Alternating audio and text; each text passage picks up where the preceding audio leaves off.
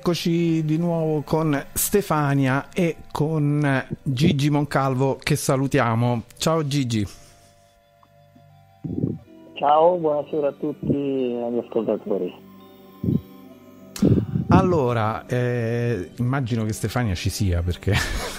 sì, sentita. sì, ci sono, ci sono. Beh, noi ci siamo salutati fuori onda con, con Gigi, effettivamente. Allora, eh, proseguiamo con Silenzio Stampa, diciamo, andiamo avanti con questa telenovela del, del governo Draghi, eh, è tutta una telenovela mi sembra, insomma, e, e direi eh, lasciamo direttamente la parola a Gigi e Gigi ci porterà chissà dove, vediamo.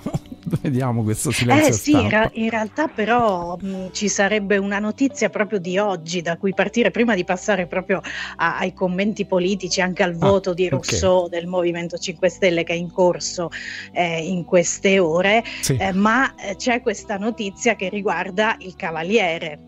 Eh, sì. Perché che cosa è successo Gigi? Il Cavaliere non gliela fa non riesce a stare in piedi. È caduto, è caduto anche perché è, abita, ha, ha preso possesso a Roma della ex villa sulla Piantica dove abitava Zeffirelli, una villa bellissima dove i taxi rifiutano di portarti perché devi passare proprio sulla vecchia strada romana, quella con i lastroni, quindi eh, il taxi deve procedere a, a un chilometro all'ora proprio. Ma eh, lui, questa villa era già la sua, lui l'aveva lasciata al, um, in usufrutto a, a Zeffirelli quando aveva avuto problemi economici, l'ha aiutato comprandogli tutte le ville, sia quella sulla costiera malfitana sia questa a Roma, arredi compresi, e ne ha preso possesso ovviamente dopo la morte di Zeffirelli, dopo alcuni lavori di ristrutturazione. Adesso è la prima volta che veniva in pratica in quella villa ad abitarci, cioè come ospite, non come proprietario o come eh, nudo proprietario. E probabilmente non conosce ancora bene gli spazi, specialmente di notte, quando per ragioni di prostata deve, deve alzarsi. E, e, quindi tra il buio, eh, la casa antica, i soprammobili, i mobili, i tappeti eh, è caduto, sostanza della favola è caduto. È caduto, contusione alla schiena e al fianco, l'hanno portato a Milano, è rientrato a Milano e ha preferito passare la notte nella clinica La Madonnina, che una volta era di proprietà del suo amico Ligresti, adesso non è più di proprietà di Ligresti, e quindi eh, ha fatto una lastra, è rimasto a dormire lì. E, insomma, il problema è che non si vuole mettere in testa, nonostante questo tipo di problematiche perché eh, la deambulazione, il cavaliere non è uno che porterà la stampella o porterà il bastone, quindi mh, mm, vorrà camminare sulle sue gambe, magari sorretto da qualcuna delle sue numerose guardie del corpo. Ecco, eh, anche a fronte di questo, oltre che dell'età e del suo stato di salute, Berlusconi deve rassegnarsi.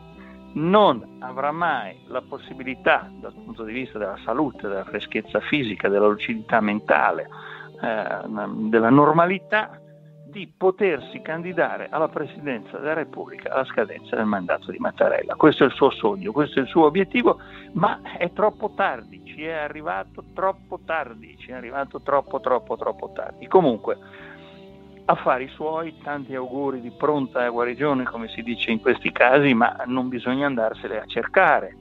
Ha voluto rientrare dalla Francia, era da tempo che era fuori dall'Italia dopo aver fatto il Covid ed essere ritornato nella, nella villa della figlia a Oban.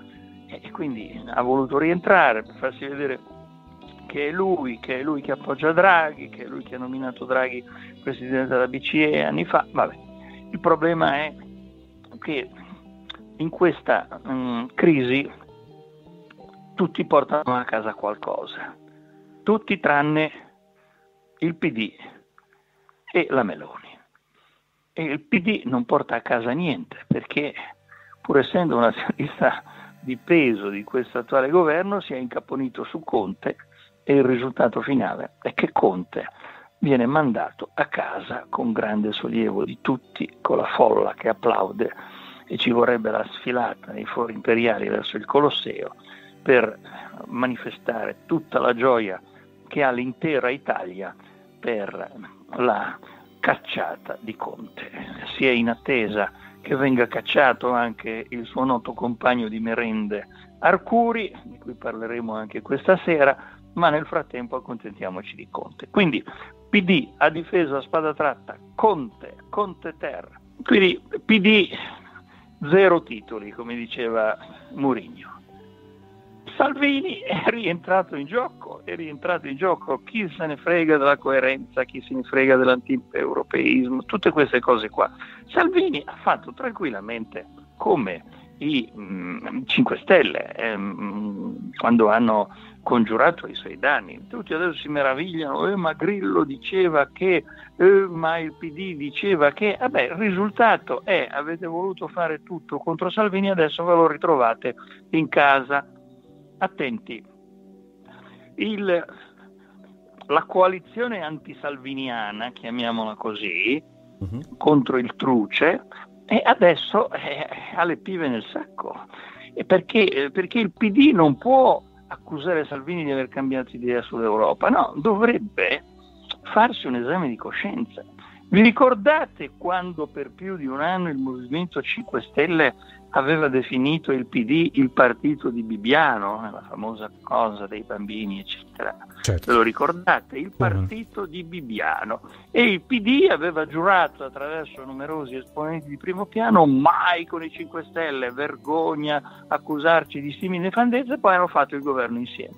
Allora adesso si meravigliano che Salvini ha cambiato idea, si meravigliano perché non gli va più bene questa cosa. Hanno fatto, oltre a essersi dati la zappa sui piedi appoggiando Conte fino alla morte, hanno portato Salvini di nuovo in scena e questa volta Salvini farà tesoro, speriamo per lui, degli errori commessi l'altra volta. Prima di tutto quello di mettersi frontalmente contro l'Europa, altrimenti non si va da nessuna parte. L'ha capito, entrerà nel Partito Popolare Europeo, non subito ma attraverso un'operazione mediata, pensate un po' alla politica che, che, che, che cosa genera, attraverso Beatrice Lorenzino, la ricordate l'ex ministra della salute, la quale ha depositato da tempo un marchio in Europa, Alternativa Popolare, fa parte del Partito Popolare e quindi i, i leghisti passeranno in questa alternativa popolare col tempo,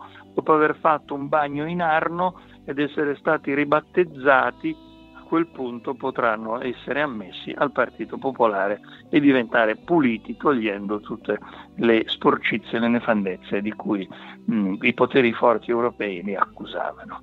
Il traghettatore è stato Giorgetti, è stato lui a convincere Salvini e Giorgetti ha delle armi di persuasione molto importanti è un parente di Ponzellini, un importantissimo banchiere italiano e quindi sa benissimo come gira il mondo. Quindi disinnescato Conte, insediato il governo Draghi, sta per essere insediato, abbiamo la vicenda Grillo. La vicenda Grillo che come sempre fa ridere. Perché fa ridere? Perché è stata risolta con il WWF, il World Wildlife Fund, con l'associazione ecologista importantissima che dopo essere stata consultata da Draghi, noi pensavamo che per, per, non perdere tempo consultassero anche tutta una serie di persone che non lo so, vabbè, potrebbero anche consultare la Croce Rossa, potrebbero consultare Emergency, potrebbero consultare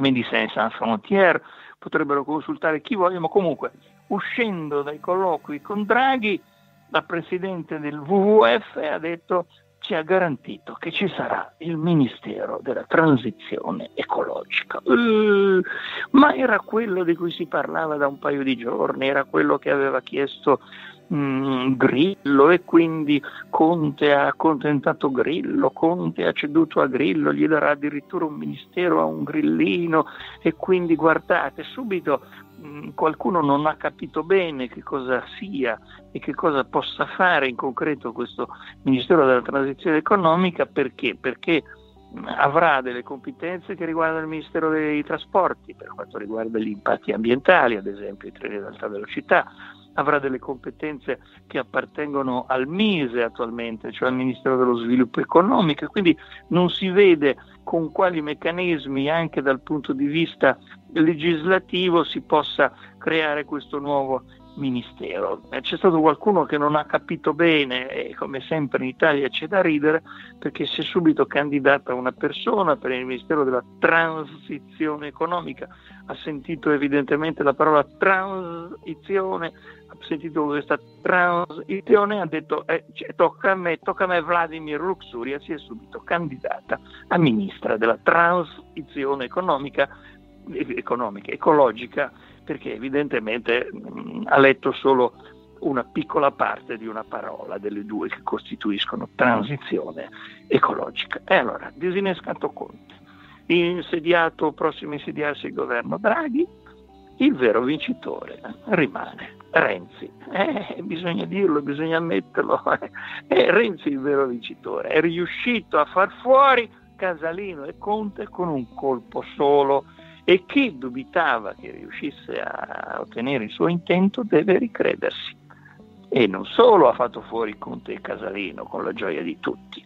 Vi ricordate la nostra puntata della scorsa settimana sul banchetto, eh, banchetto. di Conte e Casalino? Eh, ecco, sì. ma io poi, finita la trasmissione, mi sono guardato un po' le rassegne stampa della notte dei giornali e dico ma sono proprio fuori tiro perché tutti i telegiornali esaltavano questa dichiarazione di Conte sul banchetto a favore di Draghi senza invece valutare il sabotaggio. Ho visto che mh, mm, non io la penso come Mattarella, Mattarella la pensa come me ma è bastato un attimo per leggere bene quelle frasi, bastava ascoltarle la prima volta e fare le proprie valutazioni distinto, che sono quelle, sempre quelle più, più, più vere, per capire che si trattava di un tentativo di sabotaggio mal riuscito, squallido, pecoreccio e che De Luca ha definito bene, io mi ero accontentato della parola cioccolataio, com- cocomeraio, ehm, venditore di tappeti. Caldarrostes. De Luca,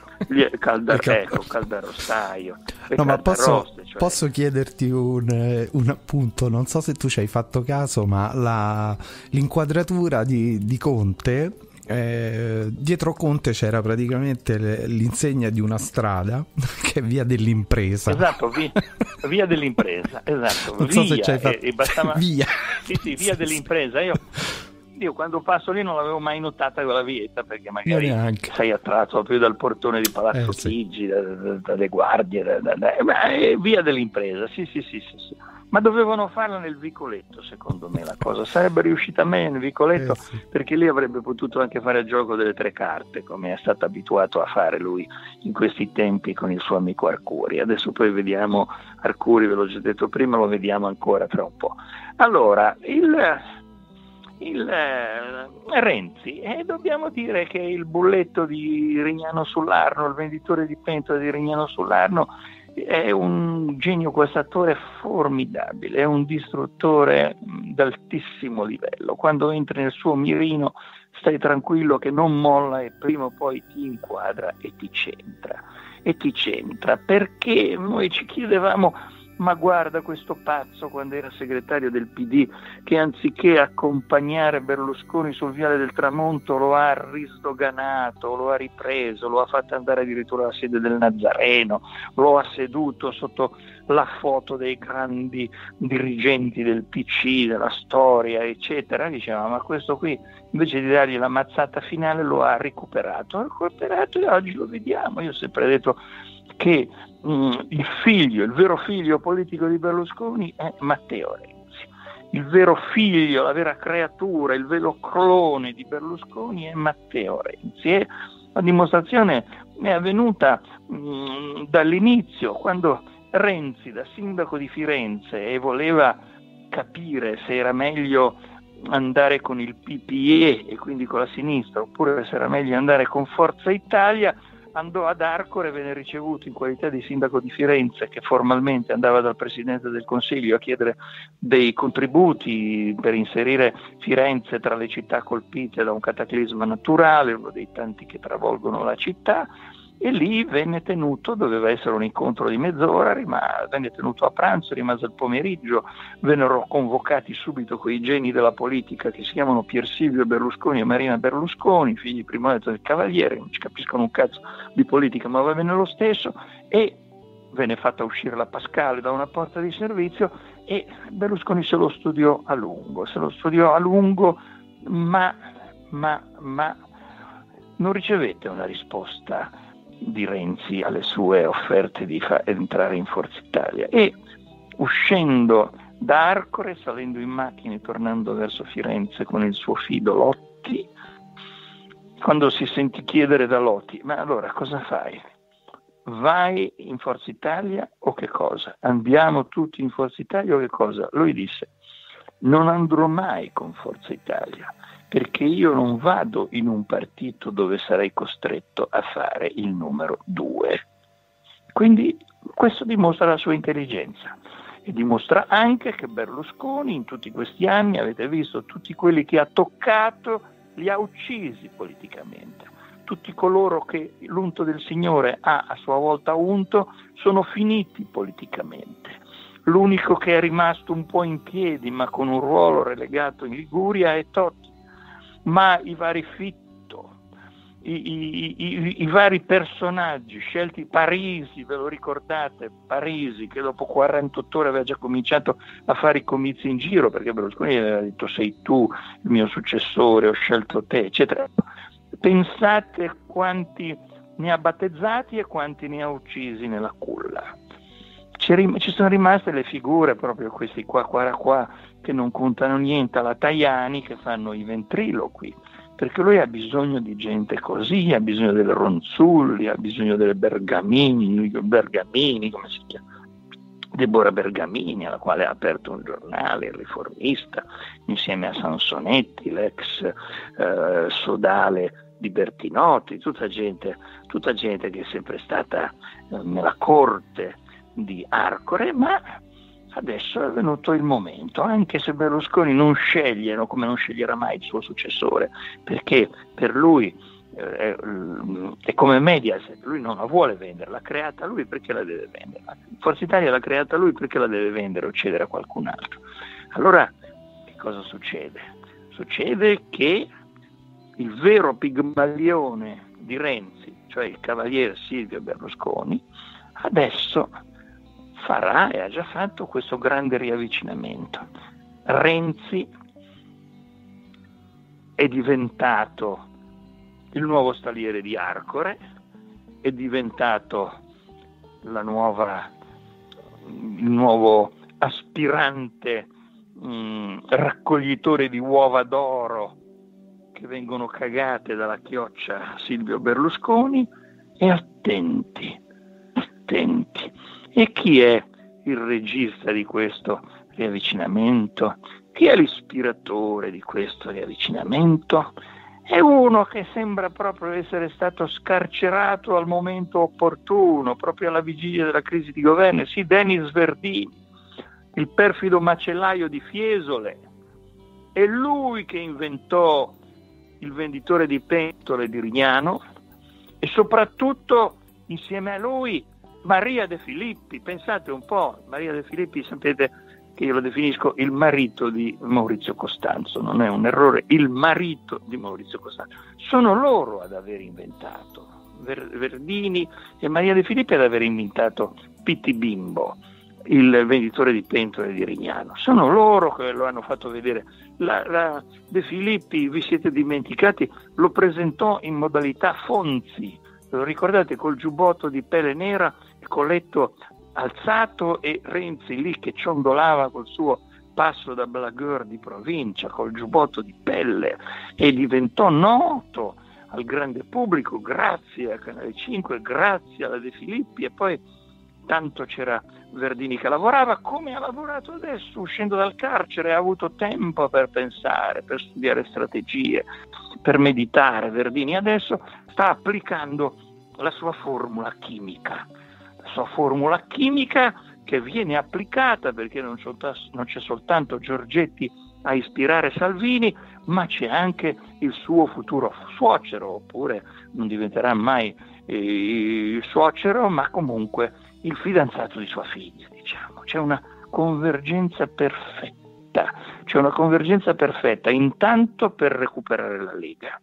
intanto per spezzare quel centrodestra che non poteva esistere e su cui la Meloni sta giustamente dal suo punto di vista facendo un'operazione di stinguo, cioè mi si nota di più se vengo o non vengo, mi si nota di più se vado o non vado. E la Meloni ha deciso che la si nota di più se non va nell'ammucchiata. E a consigliarla anche qui c'è una vecchia volpe che si ostina a non portare la pelle in pellicceria, e cioè Ignazio La Russa. Figuratevi se Ignazio La Russa sta lontano da un governo.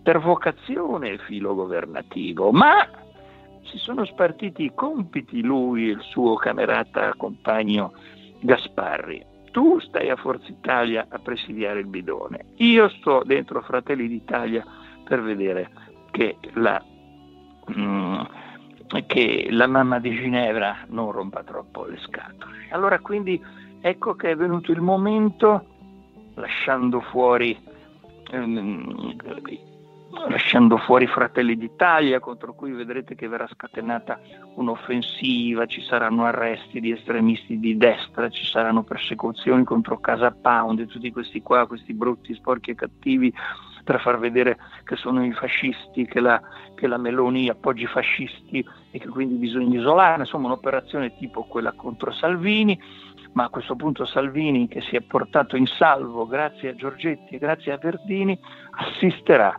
alla fusione a freddo tra Forza Italia e Italia Viva, tra Berlusconi e Renzi, con un pizzico appena la torta uscirà dal forno, direte ma se è una fusione a freddo, vabbè, allora facciamo che un pizzico quando esce non dal forno ma esce dal turboreattore, un pizzico di bonino e una spruzzata di Calenda. Calenda in questo periodo era scomparso, adesso ricompare. Quando parla Calenda in televisione voi assistete a come se ci fosse un impiegato che torna a casa dopo otto ore di frustrante lavoro. Calenda, lo vedete, c'è sempre questa espressione stanca, strascicata, in cui chiede, sembra che sia lì in onda, però con una voce forte dica al domestico filippino oh che mai preparato stasera per cena? Perché Calenda è uno che vuole essere servito Calenda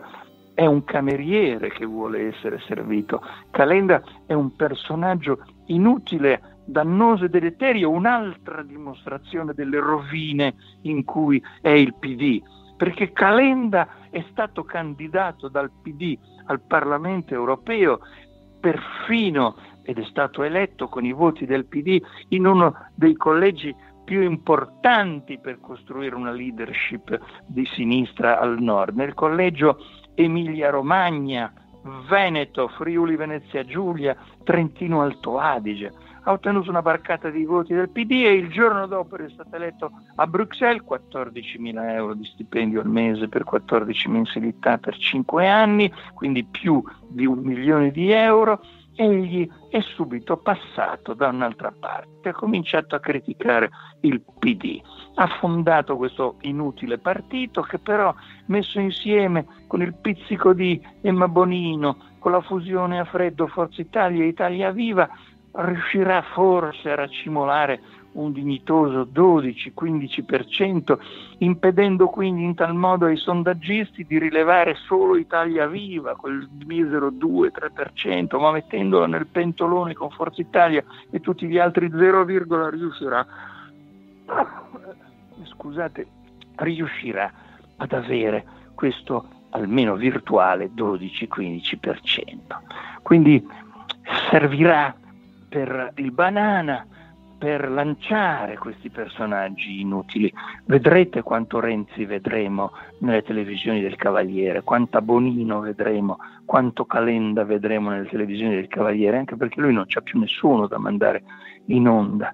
Lui non può più comparire perché vedete che si dimentica, lo, lo interpreta molto bene Crozza nella sua imitazione, si dimentica la domanda e si dimentica la risposta, si addormenta, si sveglia all'improvviso, insomma il banana, il banana che cosa farà? Continuerà come sempre a farsi i suoi interessi mediatici, continuerà a salvaguardare la società di cui nessuno parla, che non è Mediaset, ma è Media for Europe. Media for Europe, che ha la sede legale in Olanda, perché il cavaliere predica tanto di italianità, di pagare le tasse, eccetera, ma la sede della sua più grande conglomerata, Media for Europe, è in Olanda. E il tentativo di fatti di portargliela via arriva dai francesi, da Bolloré. E attualmente il Cavaliere ha messo questa società sotto la protezione dell'Agicom, l'agenzia, la, la, il garante per le comunicazioni, affinché con la scusa della rilevanza nazionale impedisca ai francesi di acquisirla. A proposito di rilevanza nazionale, vi ricordate quando ci parlavano che l'Italia doveva essere tenuta in Italia perché è bello vedere il tricolore sulla coda degli aerei negli aeroporti di tutto il mondo? Beh, dall'Italia non sa se arriverà alla fine del mese. Saremo curiosi di vedere il primo grande test su cui si misurerà Draghi e il suo debito buono e il suo debito cattivo. Vale a dire, meglio continuare a fare del debito cattivo con l'Italia che non ha più neanche i soldi per pagare quello, quello, che fornisce i taralli a bordo, vi danno con la busta con quei tre taralli, almeno io sono, sono anni che non viaggio più in Italia, quindi preferisco prendere il Freccia Rosso o preferisco prendere EasyJet da Malpensa per andare a Roma. Comunque sia, mi servivano i taralli e un bicchiere di acqua minerale dato con maleducazione da costoro che finalmente perderanno il posto di lavoro. Questi dall'Italia è ora che la finiscano di avere questi privilegi questi stipendi. Questo è un paese che deve tirare la cinghia, deve cominciare a tirare la cinghia, ma vedete l'opera pazzesca di Draghi. Draghi avete notato come è così poco politico. Una delle prime cose che ha detto è stata per recuperare il tempo perduto nelle scuole i ragazzi dovranno andare a scuola per tutto giugno, fino alla fine di giugno. Apriti cielo, ma apriti cielo non da parte dei ragazzi, da parte dei sindacati della scuola, i professori, i bidelli, eh, gli assistenti amministrativi, eccetera i quali, oltre a non fare un cazzo per tre mesi e prendere lo stipendio, perché sono una delle poche categorie che ha preso lo stipendio intero senza fare un cazzo, giugno, luglio e agosto scorso, no, no, anche quest'anno vogliono fare un cazzo per tre mesi e se c'è uno che dice, vabbè, invece di fare un cazzo per tre mesi lo fate solo per due, ma arrivate fino al 30 giugno con le scuole aperte. No, no, no, no, vedrete che ci sarà la rivolta nelle strade, altro che solidarietà sociale, altro che non ci pensa nessuno. Ai lavoratori del settore privato pensano tutti e soltanto ai lavoratori del settore pubblico, a cominciare dalla scuola che non vuole assolutamente fare nessun tipo di sacrificio e da una parte c'è ragione perché si trova i banchi a rotelle che non vengono neanche, eh, non vengono neanche tolte le confezioni, non sono stati neanche aperti molti, sono ancora incelofanati e impacchettati. Avete visto dei servizi di televisione dove mostrano i magazzini di certi istituti scolastici con i famosi banchi arcuri che sono ancora lì. E quindi figuratevi uno che vede nella sua scuola questo spreco di denaro fatto grazie ad Arcuri che si trova a dirsi eh io non devo rinunciare. No, ma non è che nessuno gli chiede di rinunciare allo stipendio, attenti. Lo stipendio di giugno continueranno a prenderlo, quello di luglio e agosto, lo stesso. Gli si chiede, invece di non fare un cazzo anche a giugno, di lavorare almeno a giugno. Ecco, vedete com'è difficile qui sistemare questo paese. Allora, eravamo rimasti al Banana, al Cavaliere, alla sua Media for Europe che ha sede legale in Olanda, e che viene salvaguardata dal garante delle comunicazioni, tutta gente messa dal Cavaliere, quindi vedete che conta sempre, per impedire che i francesi di, con Bolloré ci mettano le mani. Infatti mm, ci mettono le mani e quindi uno degli argomenti che usa il Cavaliere, non esplicitamente perché non bisogna mai toccarla, la Fiat, dice eh, in Francia vi siete presi la Fiat, no? Perché è l'unico che lo dice Draghi, gli altri dicono che è la Fiat che ha fatto la fusione con i francesi. No, no, è la Francia che si è presa la Fiat. Quindi non è bene tirare troppo la corda da parte dei francesi nel settore delle telecomunicazioni specialmente, un settore strategico perché anche la fibra a volte si spezza e si finisce nella rete, rete unica magari. Ma il passaggio di testimone da Berlusconi, privo com'è volutamente di eredi spendibili che si possano affacciare sullo schermo o sulla scena, che sono incapaci di avere una leadership perché lui ha scelto sempre dei qua qua qua privi di qualunque qualità e caratteristica, beh, a questo punto c'è Renzi, il quale è ben felice di occupare l'area del centro, questo centro dove tutti vogliono sempre andare. È un centro che improvvisamente in questo disegno è stato messo a soqquadro dall'improvvisa conversione di Salvini, perché anche Salvini adesso fa il centrista, non fa più il sovranista. Eh, Salvini ha capito al volo che l'appello di Mattarella a tutte le forze politiche presenti in Parlamento perché diano la fiducia a un governo di alto profilo era il momento giusto, l'occasione giusta per abiurare l'antieuropeismo, per abiurare i principi leghisti, per abiurare tutte queste cose che hanno raccontato le patrie, le piccole patrie italiane, le nazioni italiane, il Trentino, il Piemonte, eccetera, è, il momento di mettersi all'angolo e dopo aver preso tanti cazzotti cercare con l'appoggio di Giorgetti e di Verdini di rientrare in scena. Ora non si sa fino a quando tenga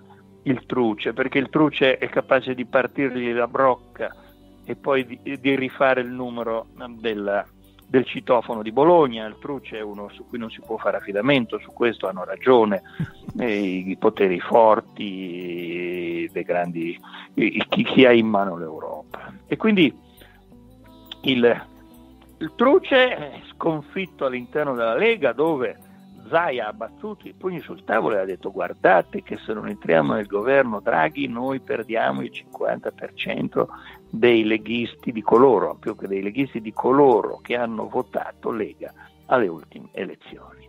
Quindi il quartetto che sta cercando di tenere sotto stacco il truce, il truce del papete, e gli hanno proibito di tenere in casa gli alcolici e tutto il resto, specialmente il mojito, beh, il quartetto è Giorgetti, Fedriga, il governatore del Friuli, Zaia, il governatore del Veneto, e l'impresentabile Fontana, vista la gestione che ha fatto della, del Covid, governatore della Lombardia.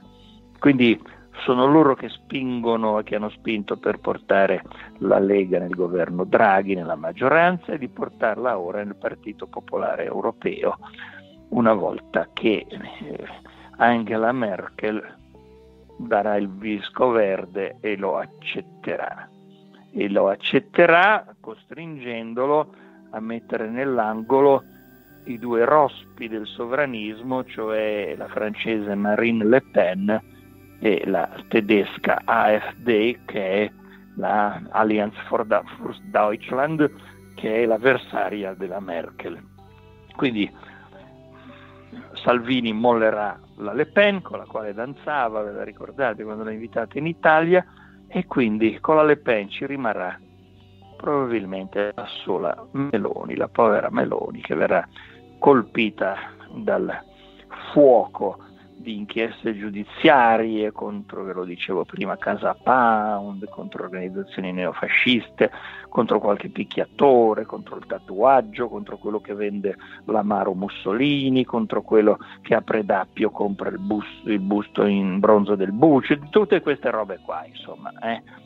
Allora, questa revergination, chiamiamola così, la revergination di Salvini, che diventerà molto meno macio, molto meno papete, senza cubiste che gli sculetano davanti e gli fanno perdere la tradizione, la revergination mm, richiederà almeno un anno. Ma questo sarà l'anno che porterà alla vigilia delle prossime elezioni, anche se ci sono degli ostacoli sulla strada, perché il nuovo Salvini europeista in fondo ha lo stesso obiettivo di Renzi, vale a dire prendersi Forza Italia, prendere i voti del centro e anche Salvini è teleguidato, così come Renzi, dal futuro suocero, dal futuro suocero, il quale ha gli arresti domiciliari, ma usa il telefono, chiama, manda WhatsApp, manda messaggini. E di fatti, su consiglio di Verdini, Salvini ha già chiamato Mara Carfagna, ha già chiamato Giovanni Totti. Passate con me, venite con me, facciamo il centro con me. Berlusconi lo vedete, cade perfino in casa, non riesce neanche a stare in piedi. E a suo favore ci sono accanto a Berlusconi Ghedini e la Ronzulli. Ghedini e la Ronzulli sono lì di fianco al Cavaliere, ma hanno tutti e due il pugnale nelle mani, pronti appena crolla a far finta di sorreggerlo, ma pronti anche a staccare, a mettere il piede sul tubo dell'ossigeno che consente a Berlusconi di respirare. Altre donne del gruppo di Forza Italia sono irrilevanti, la Gelmini, la Bernini, a Casellati si fa i fatti suoi e lì, seconda carica della Repubblica, sostituirà Mattarella se va a fare qualche altro viaggio all'estero, ma ne farà sempre meno. Mattarella un po' per il Covid, un po' perché è meglio non lasciare Roma di questi tempi, perché sono tutti lì con le trappole pronte e useranno poi la lama, la lama di quel pugnale che dicevamo prima per cercare di tagliare intanto la testa di Tajani, che lo vedete quando viene intervistato dai giornali, che ci sono le tre interviste insieme, Meloni, Salvini, Tajani, e mi viene interpellato per ultimo, dice delle cose banali, non riesce a dire una frase, uno slogan che possa servire ai titolisti dei giornali. Insomma, i tempi di Renzi per conquistare Forza Italia e salvarla dalle, e strapparla dalle grinfie di Salvini sono quindi brucianti, devono essere veloci, egli deve utilizzare bene l'anno che precede la rivergination europea di Salvini. Al suo fianco ha un grande alleato Renzi, che non è solo Verdini, ma ce n'è un altro alleato più importante perché non è ai domiciliari, è l'intramontabile Gianni Letta, il giornalista che non ha mai scritto un articolo, che vedete che è passato nel giro di un secondo dal Conte per al dire Conte chi? Chi è Conte? L'allenatore dell'Inter? No, non lo conosco questo Giuseppe Conte. E intanto la prima preda di Salvini è il povero Emilio Carelli, ex eh, senato, anzi senato, deputato dei 5 Stelle, giornalista ex Mediaset, fondatore di, del telegiornale di Sky, Sky TG24, che ha mollato il 5 Stelle proprio per il gruppo Misto e ha annunciato di voler formare la nuova componente Centro Popolare Italiani. Vedete, se volete fondare un partito io vi consiglio di metterci la parola centro. Eh? La parola centro, vedrete che anche nel prossimo Festival di Sanremo vedrete, anzi cominciamo veramente quella cosa che dice Fiorello per ridere, che, che, è la contropubblicità, ma la gente a casa non la capisce perché dice non guardate il Festival di Sanremo, pensate alle persone meno attrezzate intellettualmente culturalmente che sentono non guardate il Festival di Sanremo, vedono che sulla RAI dicono non guardate il Festival, eh, noi invece diciamo non guardate il Festival di Sanremo, non per ironia, ma perché vi, vi, vi, vi fa bene alla salute. Davvero? Eh sì vi fa bene alla salute anche dal punto di vista del Covid, avete visto, hanno fatto le prove generali l'altro giorno a Roma in un teatro trasformato in studio televisivo, questi teatri per cui la RAI paga milioni di euro di affitto all'anno e mh, mm, hanno sbagliato i conti, c'era il pubblico finto, pubblico di figuranti, ma hanno sbagliato i conti perché il risultato positivo al tampone è un tecnico del suono. E quindi hanno dovuto fermare tutto, hanno dovuto tamponare tutti un'altra volta hanno dovuto interrompere le prove, ma per forza, ma cosa credono? Cosa credono? Che il, il Covid si ferma, cioè si infila nel, nel, nostro corpo, attraverso le nostre bocche, attraverso il nostro naso, eccetera, e dice, ah no, qui no perché questo è un figurante del Festival Insieme, ah no perché questo è Fiorello, ah no perché questo è Amadeus, ah no perché questo lavora nelle troupe che producono il Festival di Sanremo. Su dai, su dai, ehm, andate a casa per piacere, andate a casa, andate a casa a cominciare da quello in ordine alfabetico. Noi siamo per ordine alfabetico, quindi diciamo di cominciare dalla A come Arcuri. A come Arcuri e buonanotte ai sei. Avete visto quando si è parlato di suo padre che era iscritto alla P2, qualcuno ha sottolineato che era nelle prime pagine della lista della P2 di Gelli, c'è stata anche una forte polemica, lui prima ha smentito, poi invece hanno prodotto i documenti, insomma tutta una serie di TikTok, una sentenza del tribunale che diceva no, non è vero, comunque sia, lui si è giustificato dicendo mio padre era, all'inizio della lista perché si chiama A come, come Arcuri e quindi ecco, allora cominciamo nella lista con A come Arcuri, in ordine alfabetico, eh?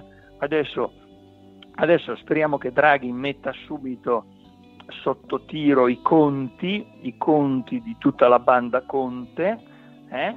perché oggi ne è venuta fuori un altro degli sprechi di Arcuri, di questo suo spargere denaro a fondo perduto. Eh? Allora non si devono più spendere, perdere fondi sprecandoli malamente, si riferiva ad Arcuri quando ha detto queste cose il nuovo Premier Conte. L'ultimo caso è la pagina Facebook dell'app Immuni, che riesce nel miracolo di essere meno efficace dell'app stessa. Pensate, l'app stessa Immuni che ha tentato di inserirla sul telefonino non c'è riuscito, non c'è riuscito. Allora che cosa è successo? Che Arcuri ha affidato l'appalto per la gestione della pagina Facebook a una società, Zenith Italy, società del gruppo Publicis. Non sappiamo se è italiano o se ha una filiale italiana. Budget, il budget scusate, non è trascurabile, 40.720 euro che sono noccioline, ma per una semplice pagina Facebook sono un po' tantini cioè per costruirti una pagina Facebook ti prendi 40.720 euro. Eppure i risultati sono risibili, i like raccolti attraverso la produzione della pagina con tutto lo strombazzamento che c'è stato sono meno di 19.000. Sono delle bazzeccole se era affrontati al fatto che l'app, ben lontana dai gli obiettivi prefissati, è stata scaricata da oltre 10 milioni di italiani e pubblicizzata anche in tv e sui giornali, quindi 10 milioni di italiani ci sono cascati, c'è stato uno strombazzamento pubblicitario gigantesco, hanno, si sono iscritti oltre 10 milioni di italiani, ma alla pagina Facebook i like sono meno di 19 mila. Quindi 2 euro per ogni like, sì, sì, dicono gli esperti. È un costo insensato, 2 euro per ogni like. La media di mercato è di 30 centesimi per ogni like, che scendono anche a 20 centesimi a fronte di un marchio se è molto conosciuto, se è molto pubblicizzato, se gode di una grande propaganda. In più i contenuti non sono all'altezza di questa pagina, ecco perché c'è così pochi like. La frequenza dei post. L'ultimo risale a ieri, eravamo al 9 febbraio e quello precedente era dell'1 febbraio, 8 giorni senza post. La media è di più di 10 giorni, con una lunghissima pausa, quasi un mese a Natale. Cioè, questi fanno delle cose e poi vanno avanti così, all'andocoio coio, alla come viene viene. E questo è il problema chiave, in una, in una situazione che nonostante quello che si dica, vedete, l'arrivo di Conte è sembrato portare un'aria nuova, l'arrivo di Conte, l'arrivo di Draghi è sembrato portare un'aria nuova anche per quanto riguarda il virus cinese, come lo chiamo io. Ma il virus cinese, oggi c'era un articolo sulla verità di Maurizio Tortorella, il quale ha detto aveva ragione Trump, il Covid è un virus cinese. Il Dipartimento di Stato americano con Biden presidente, quello di, di Dipartimento di Stato di adesso, non quello dei tempi di Trump, con Biden presidente, attacca la missione dell'Organizzazione Mondiale della Sanità a Wuhan. I cinesi non hanno offerto la trasparenza di cui la comunità internazionale ha bisogno.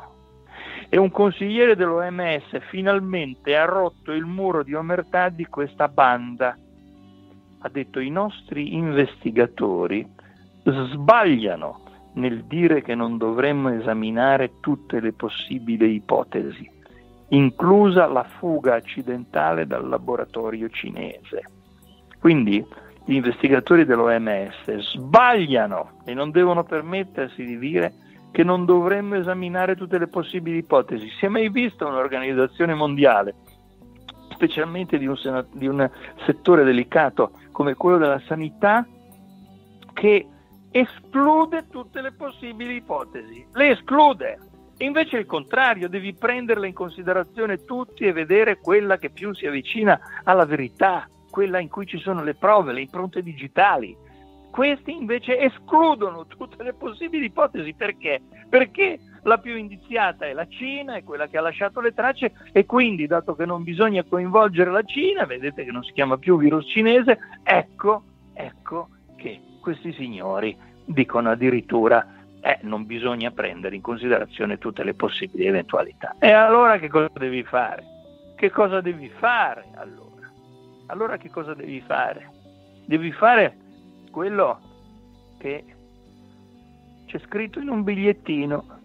Qualcuno, dice Renzi, gli ha lasciato un fogliettino suo, sulla scrivania del suo ufficio in Senato, un fogliettino firmato Confucio con questa frase. Ecco questa frase da segnare bene, da memorizzare. Quando fai qualcosa, sappi che avrai contro quelli che volevano fare la stessa cosa, quelli che volevano fare il contrario e la stragrande maggioranza di quelli che non volevano fare niente. È così. Quindi quando fai qualcosa, sappi che avrai contro quelli che volevano fare la stessa cosa, quelli che volevano fare il contrario e la stragrande maggioranza di quelli che non volevano fare niente. Eh? E questo, vedete che tutto eh, ritorna su quell'episodio che vi raccontai il primo giorno in cui entrai in RAI e eh, questo anziano del partito RAI mi prese da parte, si presentò e mi disse, Monca, mi raccomando, eh, tieni presente la regola numero uno qua dentro. Chi non fa non sbaglia. Chi non fa non sbaglia. Eh? Quindi fermi, non fate niente, non muovetevi, fate Prodi, ve lo ricordate nella famosa imitazione di, di, Guzzanti, di Guzzanti, Guzzanti, Guzzanti sì, il semaforo, il semaforo. ma no, aspetta che viene verde, tra un po' viene verde, viene verde, viene verde. Ecco, in tutto questo casino del chi non fa non sbaglia, abbiamo tutto questo casino, questo bordello dei 5 Stelle, la piattaforma Rosso. Allora la piattaforma Rosso ormai è diventata una cosa che qualunque cosa dica, se anche dicesse il cielo quando è sereno è azzurro o il cielo quando è nuvolo è grigio, nessuno ci crederebbe più, perché qualunque risultato dà la piattaforma Rousseau, tutti noi siamo portati a considerarlo un risultato truccato, una bufala, una cosa che è stata manipolata. E quindi se, se tu perdi autorevolezza, se perdi credibilità, se servi attendibilità, soprattutto in un mondo fatto di numeri, e allora non serve a niente. Quindi possono fare tutti i quesiti che vogliono, anzi io non me lo ricordo il quesito che hanno fatto, non so se voi lo avete segnato, io non ce l'ho davanti a me, forse Stefania allora, dovrebbe, sì, dovrebbe sì. averlo c'è, Stefania. C'è, sì, Stefania, vai. cosa dice esattamente il famoso quesito sì. di, di, che si è studiato da pensare, attenzione, oggi Casaleggio ha dato la colpa di aver, di aver mh, fatto quel quesito perché ha capito che è una roba da matti, a Crimi hanno scelto quello che dorme in piedi, che è abusivo da dieci mesi, hanno scelto lui, la fama l'ha fatto Crimi, ma se l'ha fatto un coglione voi gli, gli andate dietro lo, e lo sottoponete, vabbè comunque sì, com'è esattamente? Perché lo dobbiamo analizzare questo quesito, perché secondo me è talmente delirante che fa, eh, solo un cerebro leso poteva studiare un quesito del genere. Com'è Stefani esattamente il quesito? Allora, il quesito è il seguente. Sei d'accordo che il movimento sostenga un governo tecnico-politico? Due punti, poi io l'ho trovato con i due punti, che tra l'altro sì. anche la, diciamo, la punteggiatura la, non è esatto. proprio. Eh, beh, ma Crimi, Crimi la punteggiatura Crimi c'ha un conto in sospeso con la ponteggiatura da una ventina d'anni, quindi Quindi sei d'accordo che il governo tecnico-politico, giusto? Che il, movi- che il movimento sostenga un governo tecnico-politico che preveda un super ministero della transizione ecologica e che difenda i principali risultati raggiunti dal movimento con le altre forze politiche indicate dal presidente incaricato Mario Draghi? Questa è la domanda. La domanda. Quindi hanno cercato di accontentare tutte e due le cose. Allora, sì. l'elevato che ha chiesto il Ministero della Transizione Ecologica e dall'altra parte di far finta di credere che il governo precedente col PD ha ottenuto dei risultati, il che c'è già un presupposto sbagliato, perché l'alternativa oltre al Ministero della Transizione Ecologica qual è Stefani esattamente e che un governo che sì che... Allora, è che, è che difenda i principali risultati raggiunti dal movimento. Ecco, allora già la prima domanda è quali quindi reddito di cittadinanza e, ah, e poi eh, allora, ma quelli, quelli, quelli, erano stati ottenuti con Salvini però, quindi eh, di che difende eh sì. i principali risultati, adesso stanno a rivendicare i risultati dei governi con Salvini invece di ricordare quelli che il loro amico Conte che sta disperatamente sgomitando perché vuole, vuole un posto, vuole un posto, vuole un posto. Avete visto l'altro autogol del PD? Lo vogliono candidare nel collegio per la Camera dei Deputati di Siena, poiché a Siena ci saranno ci sono delle elezioni da rifare. Perché ci sono delle elezioni da rifare? Perché questi signori, dimostrando di essere il partito dei banchieri, hanno candidato a Siena come deputato l'ex ministro del tesoro Padovan e, attenti, attenti, poi adesso lo hanno messo al vertice di, di una banca, di una grossa banca, quindi eh, vedete da che parte sta il PD, però adesso si è liberato questo posto. Allora Conte ha già, avanzato, ha già alzato la manina, i PD sono d'accordo, solo che c'è una rivolta in Toscana perché dicono ma questo qui che cosa c'entra?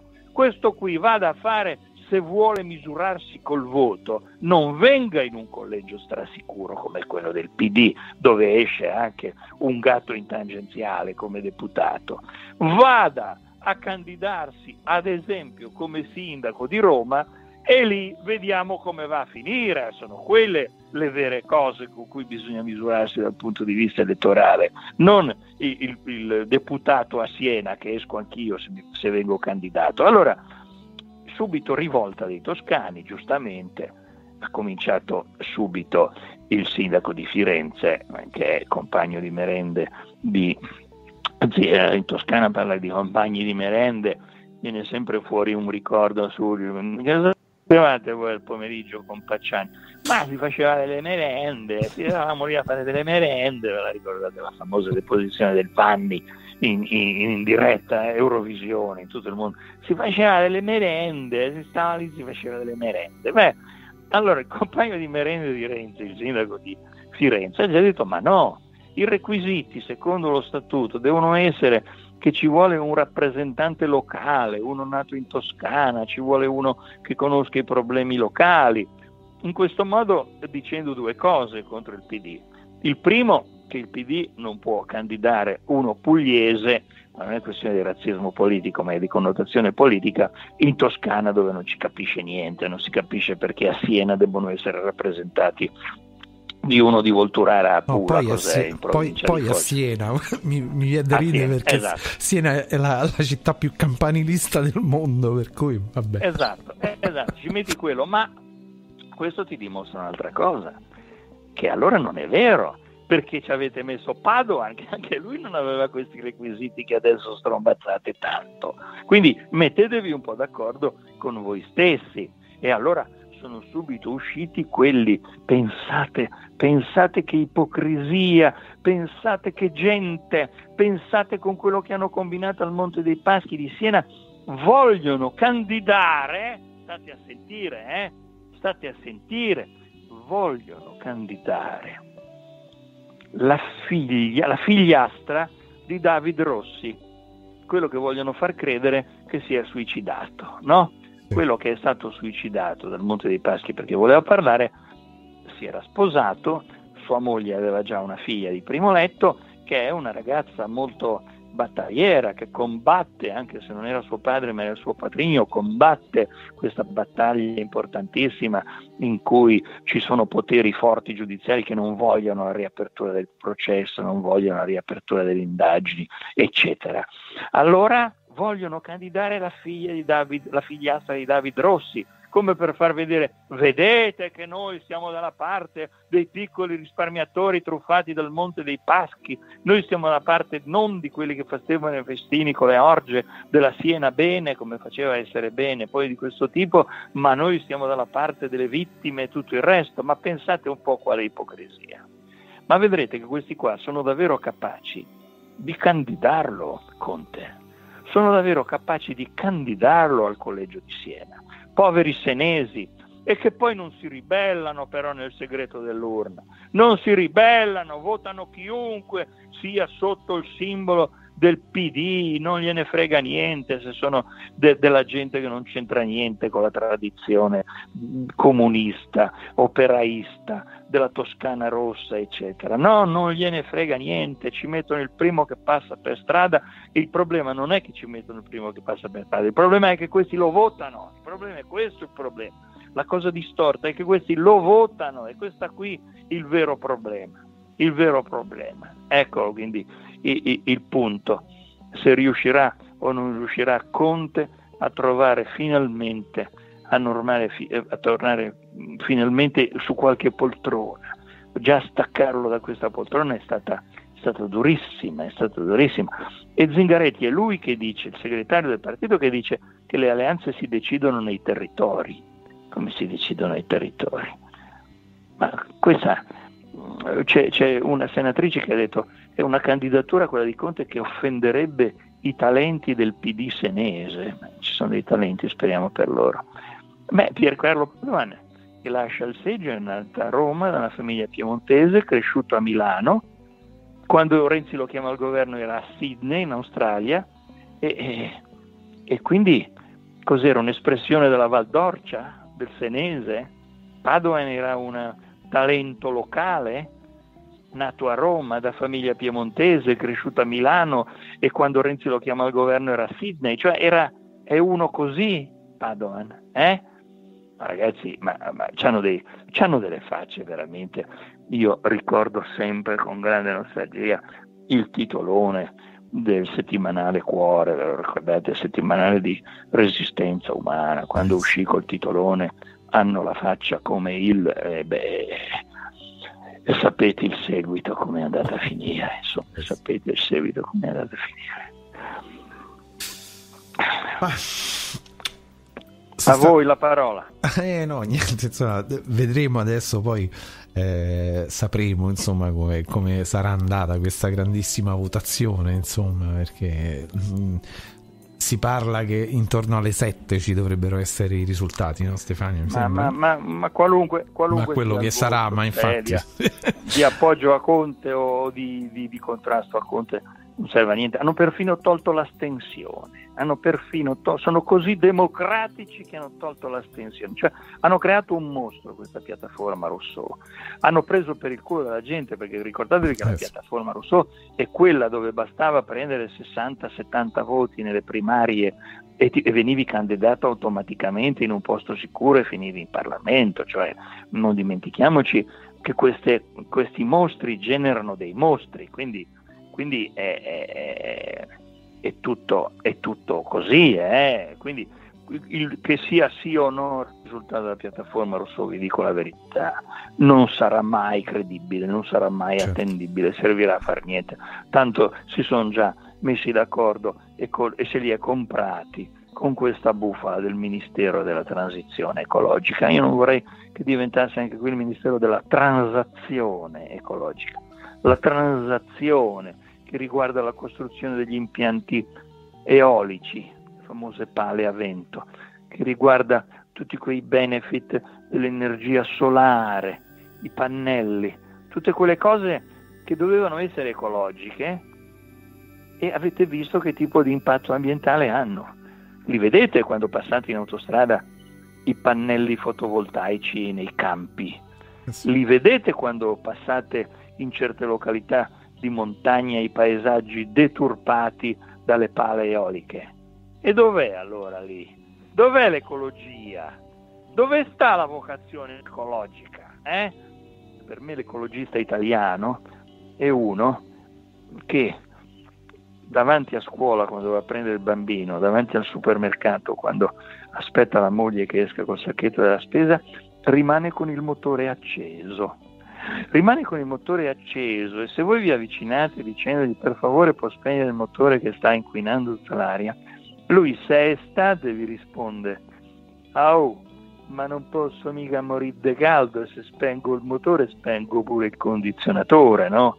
E vi aggiunge qualche insulto. Oppure se siamo d'inverno vi dice, oh, ma mica voglio morire di freddo e se spengo il motore spengo anche il riscaldamento. Questo, questo è l'ecologista italiano, vedete che non ci sono neanche più le, le targhe alterne, i, le polveri sottili, le polveri sottili, ma questi ci hanno preso per il culo con le polveri sottili, con degli ARPA che dovevano rilevare l'inquinamento nelle città.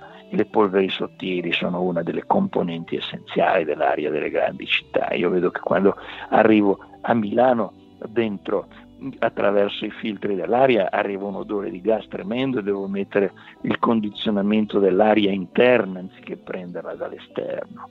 Cioè, capite? Comunque adesso c'è già una bella notizia dell'ultima ora che il PD pare che si sia opposto in una maniera molto decisa alla candidatura a, a Siena del, dell'avvocato del popolo.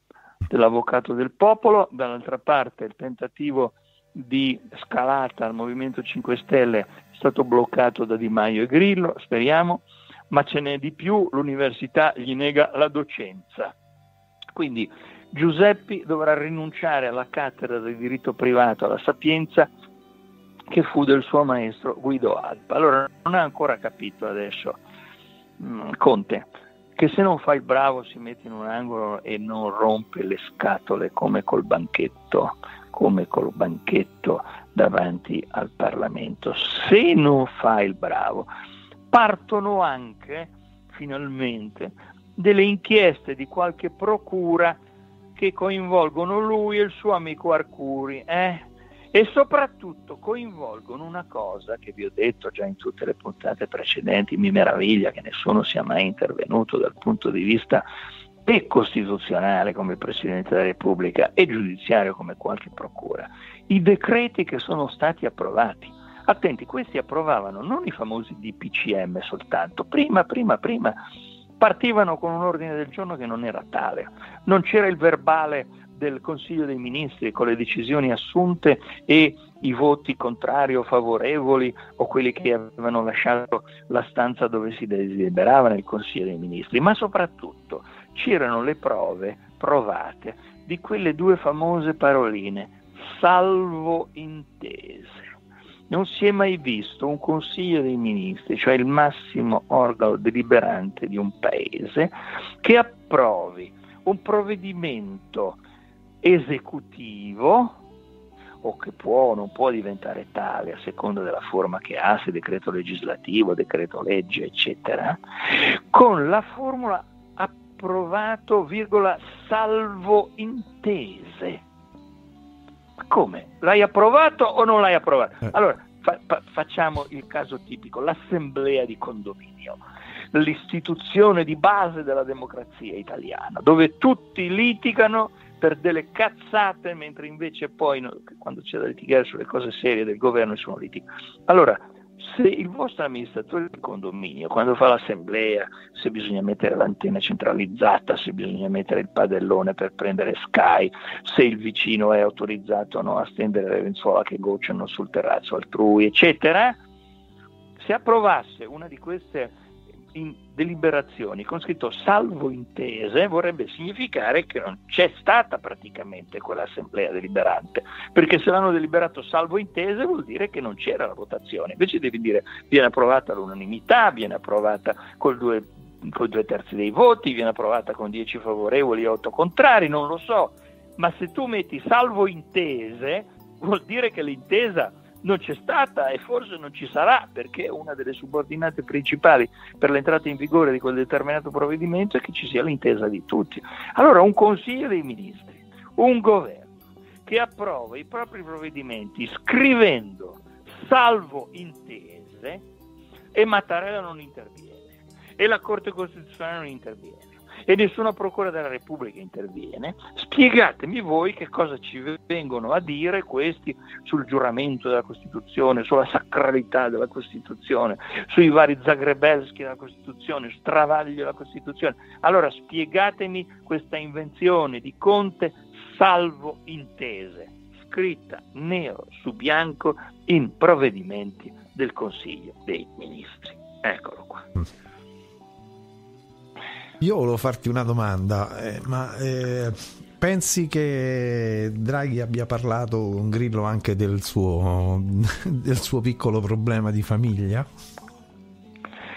Beh, è sottinteso, è sottinteso, mm. ma è sottinteso a livello ufficiale, ma è ben presente nella mente di Grillo, il quale sa bene pur animato da sani propositi ecologici, il Ministero della Transizione, eccetera, sa bene che se nasce un governo del Presidente, Presidente della Repubblica, con una maggioranza così ampia, con un personaggio come Draghi, con i poteri forti che tirano un sospiro di sollievo perché si sono tolti dei coglioni Salvini e lo stanno sciacquando in arno, chissà quante docce gli dovranno fare, io uso Arno perché è uno dei più inquinati, non c'è mai l'acqua pulita in quell'Arno, è sempre color, color terra. Beh, Grillo non è scemo, dice io mi metto contro un governo di tale forza, di tale portata, soprattutto dopo aver letto il libro di Palamara, io mi metto contro la magistratura, io mi metto contro il potere dominante, certo che ci pensa suo figlio, certo che ci pensa a come faranno a uscire da questo casino, perché è un vero casino, perché tu quando c'hai uno indagato, per quanto studi delle sentenze, per quanto ti inventi delle cose, per quante gabole i tuoi avvocati riescano a inventare, se ci sono prove di colpevolezza. Eh. E qui sarà un problema per la buongiorno adesso perché un conto era, buongiorno, vi ricordate che difende una delle ragazze stuprate o che presuntamente sono state stuprate. Bene, un conto era la buongiorno amica di Salvini, iscritta alla Lega, ex ministra di Salvini, che deve accusare il figlio di Grillo. Ma in questa situazione la buongiorno sarà ugualmente decisa e ugualmente determinata, ugualmente severa e rigorosa come sarebbe stata qualche giorno fa, oppure lo sarà meno, avrà il freno a mano più tirato di quanto non lo avrebbe tirato prima. Vedete come cambiano le cose in un attimo. Grillo ha bisogno anche lui di Salvini in questo momento ha, bisogno anche lui di Salvini. Ha bisogno che Salvini dica alla buongiorno ma su quella storia lì del figlio di Grillo, ma vedi un po' di andarci leggera, va tanto qui. Eh? Non lo so, magari Salvini non glielo dice, magari la Buongiorno non recepisce, magari la Buongiorno eh, una, fa una divisione netta tra le sue attività professionali e le sue attività di tipo politico, ma Vedete come cambiano i climi, come mutano nel giro di poco tempo le situazioni. Ora Salvini per un anno ha capito cosa vuol dire buttare all'aria tutto per una stupidaggine, per una scemenza, per la propria coglioneria. Ha capito cosa significa stare lontani dal potere. Adesso deve solo fare il bravo e tacere. Giorgetti e C, e Zaia, e Federica, e Fontana devono staccargli la spina, devono far sì che la smetta di Facebook, di video, di filmati, di palle, di slogan, di rosari, di catene al collo, di braccialetti, di crocifissi e tutto il resto. Devono mandarlo in vacanza, lo devono mandare da qualche parte, chiamarlo a Roma quando c'è da votare e basta, congelarlo, sospenderlo, perché è dura tenerlo fermo e tenerlo buono per l'anno necessario per la sua revergination, perché altrimenti lui manda l'aria anche la sua revergination e siamo da capo con tutto il bordello che c'è. Ecco. E quindi io non lo so come, come finirà e come non finirà. Non lo so, ma Draghi va come un treno. Va, Draghi va come un treno, l'unico problema è che quando verrà il momento per Draghi di candidarsi alla presidenza della Repubblica ci sarà un grandissimo problema chi sostituirà Draghi alla presidenza del Consiglio. È un problema che è già stato affrontato, sono già state esaminate le date, è già stato esaminato l'inizio del semestre bianco che comincia il prossimo, mi pare 3-8 agosto, non ricordo bene, e quindi quando scade Mattarella, cioè nel febbraio dell'anno prossimo, del 2022, cosa succede? Succede che Draghi per candidarsi deve dimettersi da Presidente del Consiglio. E chi ci mettiamo? E chi ci abbiamo da mettere Presidente del Consiglio? Mattarella ci ha già pensato a questo. Ecco perché aveva pensato di mettere l'ex Presidente della Corte Costituzionale, la Caltabia o Caltabia come si chiama, come Presidente del Consiglio Draghi super ministro dell'economia, perché in questo modo Draghi si sarebbe potuto candidare liberamente alla presidenza della Repubblica nel febbraio del prossimo anno e soprattutto non ci sarebbe stato da sostituire il Presidente del Consiglio. Invece in questo modo ne hanno studiata un'altra. Prorogheranno di un anno la Presidenza della Repubblica di Mattarella. Quindi Mattarella resterà ancora un anno, oltre il febbraio prossimo, al Quirinale. C'è già il precedente non della proroga ma della rielezione di Napolitano e quindi e c'è un precedente. Vedete cosa vuol dire lasciare assumere ai presidenti della Repubblica più potere di quello no. Hanno cominciato con Scalfaro che approfittò di Tangentopoli per fare la Vergine Immacolata, lui che non aveva preso tangenti, figuriamoci, e le sue campagne elettorali con cui lo faceva, con l'obolo delle suore, con l'obolo di San Pietro hanno cominciato con Scalfaro, sono andati avanti con Napolitano e leggetevi nel libro di Sallusti e Palamara, leggetevi le responsabilità di Napolitano nel condizionare la magistratura, nel teleguidare i processi, nel far distruggere le prove della trattativa Stato-mafia e tutto il resto. Leggetelo e ricordatevi che Napolitano era il presidente del Consiglio Superiore della Magistratura. Leggetevelo, leggetevelo. Poi quando ci sarà la proroga di Mattarella, ve lo dico, come diceva Gianni Brera, i pronostici li azzecca solo chi non li fa, io faccio il pronostico.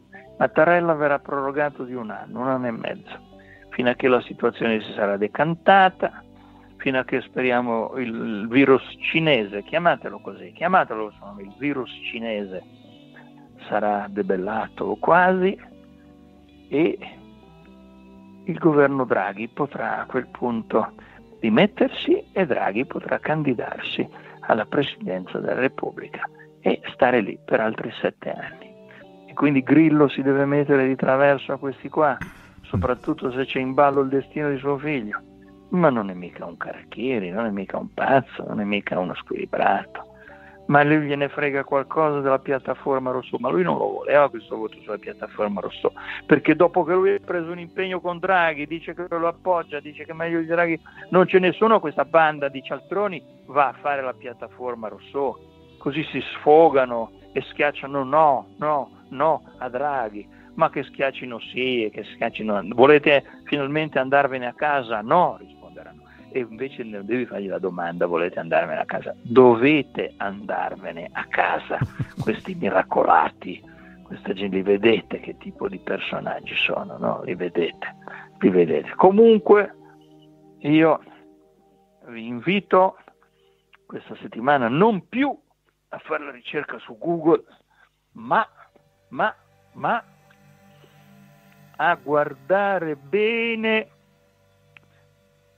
venerdì sera, venerdì sera nel programma Propaganda Live, che è molto bello, quello di quel genio televisivo di Zoro, le dichiarazioni di Rocco Casalino. Rocco Casalino, eccolo lì, lo vedremo con Zoro che gli fa le domande come vanno fatte, perché Zoro è un vero giornalista, anche se non è iscritto all'albo, non lo so, ma non importa. E poi soprattutto attenti Casalino, dopo venerdì sera da Zoro in propaganda live sulla 7, avrà un secondo passaggio. Lunedì, sempre sulla 7, con un'intervista vera e propria da Lilly Gruber. Attenti, per fare un po' di pubblicità al suo libro, perché esce il suo libro, esce, esce, esce. E, e Rocco quindi due volte ospitato da Cairo che non ha capito un cazzo della situazione e dà spazio a Conte e a questi residui di Conte, vedete? E adesso vedremo Lili Gruber chi ci avrà tra i suoi ospiti fissi che sono tutti del fatto quotidiano e quindi non faranno domande scomode al loro adorato Rocco. Non lo faranno, anzi quella sarà un'occasione per Lili Gruber e per la televisione di Cairo per per fare un po' di pubblicità, oltre che al libro di Casalino, al suo pupillo Conte.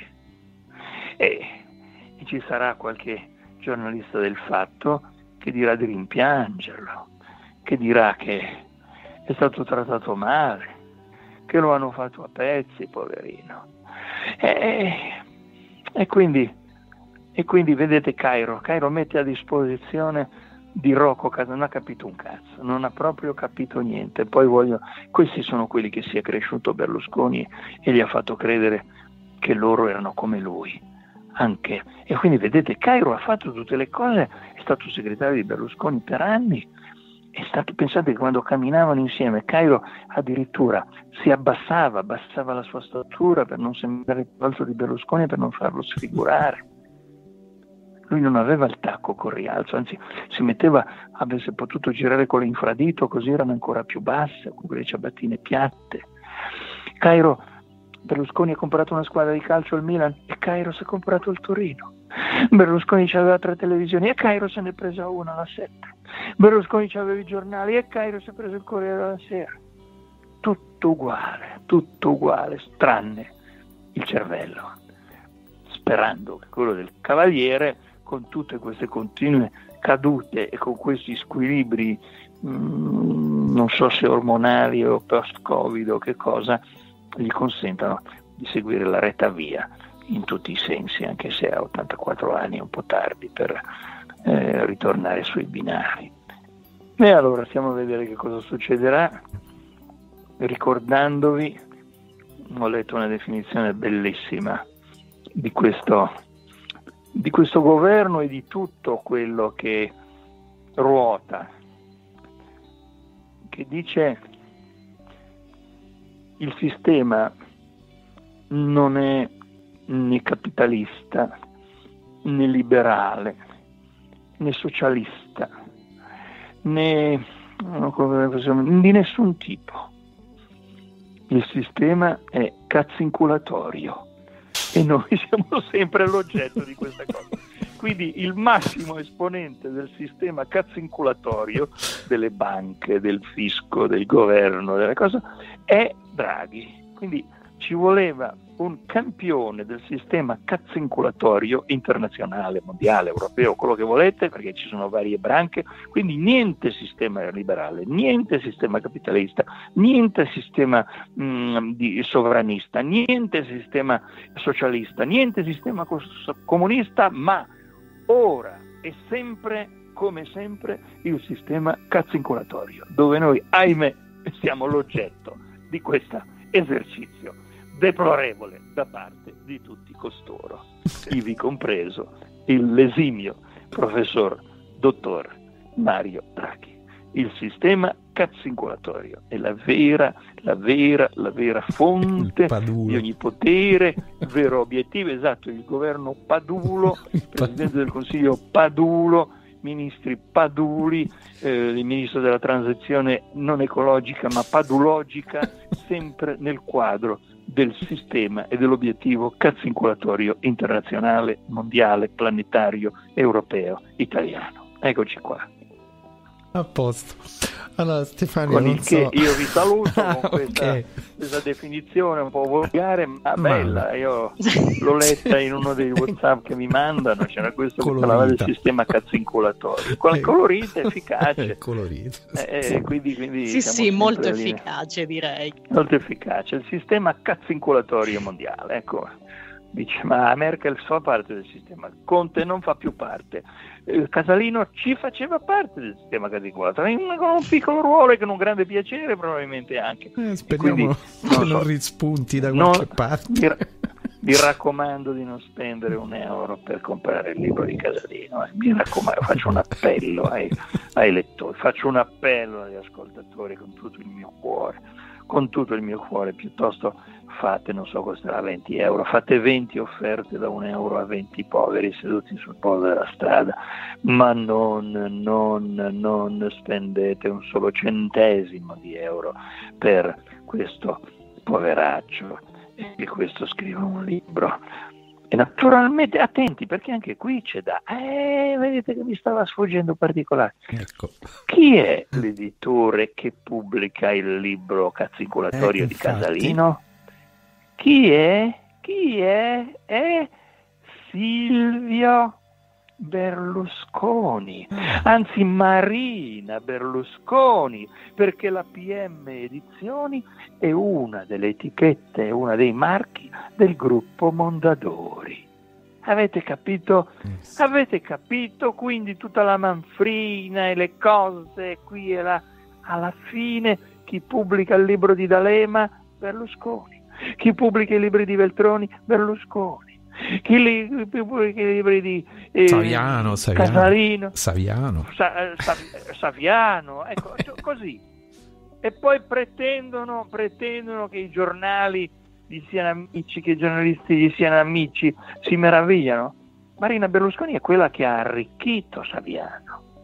Marina Berlusconi è quella che ha arricchito tutta questa gente di sinistra. Che Marina Berlusconi è quella che ha arricchito Paolo Mieli, colui che quando dirigeva il Corriere pubblicò la notizia che non era ancora ufficiale della vis di garanzia a Berlusconi, facendo cadere il governo Berlusconi. Questa è la riconoscenza che le Marine Berlusconi o i Silvi Berlusconi o i Pier Silvi Berlusconi, quando attivano i loro i loro bounty killer, il bounty killer di, di Silvio Berlusconi sono la De Filippi, sono eh, Barbara Turso, quindi lui ti manda in televisione e l'altra ti manda a fare i libri. E poi si meravigliano che questi qui con i miliardi che hanno ricevuto con la mano destra da Berlusconi, con la mano sinistra lo attacchi. Bravi, ma che bravi! ma come siete intelligenti, ma come siete istruiti, ma che grandi manager che siete, ma chi vi ha messo in quel posto lì? Ci siete arrivati per concorso? No. Per merito? No. O perché siete figli di? E allora se siete figli di, almeno fate gli interessi di vostro padre. Gli volete così bene a vostro padre che finanziate tutti coloro che lo insultano, che lo diffamano, che gli lanciano contro il bunga bunga, eccetera. Ma che gente siete? Ma da dove siete arrivati? Bene, anche stasera con l'indignometro mi avete fatto, eh, però io veramente qui ci rimetto, ci rimetto la salute, ci rimetto, io qui adesso devo rivedere questa mia collaborazione con voi perché ci rimetto della salute io qua, eh, ragazzi. Eh, ma noi non facciamo nulla. parte. ma noi non Lo so che voi non fate nulla, ma eh, eh comunque ragione di più per non spendere neanche un centesimo per comprare il libro di Infatti. Casalino. Se lo trovate ai bordi della strada per terra che uno l'ha buttato via pentito, allora lì, allora lì potete raccoglierlo con le dovute cautele perché potrebbe essere infettato di Covid che circola dappertutto. Ma mi raccomando, eh, edito dalla Mondadori, cioè da Berlusconi, il libro di Casalino. Bene. Benissimo. E poi, e poi Grillo non dovrebbe farsi i fatti suoi sulla storia del figlio, ma deve farseli ma deve farseli i fatti suoi. Io glielo consiglio vivamente. Perché solo tu nel sistema calzinculatorio devi essere quello che non solo viene colpito, ma anche suo figlio viene colpito. E allora, e allora non meravigliamoci più di niente, facciano quello che gli pare e stiano bene, tranquilli. Anche. Quindi stasera due appelli, non guardare la 7 se non il programma di Zoro, che comunque sarà una bella pagina di televisione, come sempre. Ah, e se avete bisogno di pubbliche relazioni, ora che c'è Casalino Libero, mi raccomando, prendete lui, ma soprattutto mi raccomando una cosa, tenete presente che Fabrizio Corona, pur essendo dei domiciliari senza che nessun magistrato di sorveglianza dica niente, continua a spadroneggiare. E adesso è lui che fa la gente, manda in giro e quindi prende dei soldi e delle percentuali dalle trasmissioni televisive, queste due che dicono di essere state stuprate da quello là Alberto Genovese, eh? avete visto queste due che girano, come ormai si comincia da Giletti e poi si va giù giù giù per l'Iran. Ma va bene, grazie. Grazie. ringrazio, ringrazio Stefani, ringrazio te Rudi, buona serata a tutti i nostri ascoltatori e ci sentiamo la prossima settimana come okay. sempre. Vediamo un po' che cosa... Gigi, io volevo Volevo soltanto dire dimmi, dimmi. Un, un'ultimissima cosa. E allora ti ringrazio per aver parlato di Verdini, perché era una delle domande infatti che volevo farti stasera, o meglio, una delle notizie diciamo che volevo proporti eh, per questa sera, in realtà già dalla puntata della settimana scorsa, perché era già della settimana scorsa la notizia della sua scarcerazione, guarda caso proprio in questi giorni in cui c'è la crisi di governo e poi c'è anche eh, il fatto fatto che a, a dicembre eh, c'era stata una sorta di pellegrinaggio nei giorni di Natale in carcere a Rebibbia proprio da Verdini. Eh, molti esponenti politici erano andati da lui, eh, vabbè, ovviamente i suoi i, i due Mattei, eh, suo, il suo probabilmente futuro suocero eh, Salvini e, e Renzi, e, però anche altri anche altri politici era uscita questa notizia che sono andati in visita da Verdini e adesso lui è agli arresti domiciliari, guarda caso, proprio in questi giorni qui. Quindi sì, soltanto questo volevo dirti e, e grazie come sempre. Eh, oltre anche al fatto che sì, veramente Chissà. anche a noi ci fai, ci fai, scattare comunque anche a noi l'indignometro, eh, specialmente a me devo dire a me devo dire che l'indignometro, il personaggio che mi fa scattare di più proprio a livelli stellari, l'indignometro è Arcuri. Arcuri ah, proprio raggiunge dei, reco- delle vette inimmaginabili. Sì. Ed Marcuri, se pensate, vedete, il sistema calzinculatorio si serve anche di questi signori qua. Esatto. Il sistema calzinculatorio, sì. poi è vero o no? Eh, attenti, e, e, se guardate l'humus, l'origine, la provenienza, il corso sonoro, l'accento, l'aspetto, la fotogenia, la non fotogenia, lom, l'aspetto lombrosiano, diciamo così, degli esponenti ca- del sistema calzinculatorio, trovate molti punti in comune tra i vari esponenti, trovate molti punti in comune. Ora, in questo giro di parentela abbiamo detto Verdini, la figlia di Verdini con Salvini, la figlia di... Eh, c'è, c'è un problema. Il proprietario dell'Hotel Plaza mm. è contento che sia caduto il governo Conte e consentirà a sua figlia di andare avanti nella relazione con Conte oppure l'avvocato del popolo come conseguenza e per riuscire finalmente a capire che non conta più niente, che non lo vogliono più da nessuna parte, finalmente capirà anche attraverso lei che se ne va o che lo molla che non conta più niente perché eh, Giuseppi vale in quanto oh, carica che ricopre, eh, non in quanto essenza di sé. Però mm, non lo so, eh, vediamo, anche l'Hotel Plaza non vorrei che eh, finalmente tornasse a pagare le tasse di soggiorno che non versava eh, allo Stato e, e soprattutto la ragazza, sapete che la ragazza insieme a sua sorella la figlia del proprietario del Plaza, pur essendo eh, proprietaria della società dell'Hotel Plaza, quindi pensate solo all'immobile in via del Corso cosa vale, sapete che era stata accusata di prendere il reddito di cittadinanza. Quindi non so se Giuseppi mm, rimetterà a posto le cose, lo riteneva un conflitto di interesse, una roba di cattivo gusto oppure no. Da Giuseppe ormai dopo la vendita del Cucuzzaro in piazza, in piazza di Palazzo Chigi, Piazza Colonna c'è da aspettarsi di tutto, eh, però il Cucuzzaro eh, va bene. Grazie. Grazie, grazie ancora. a tutti. Ciao Gigi, grazie. Grazie Alla a prossima. te Gigi, ciao. Alla prossima, ciao ciao.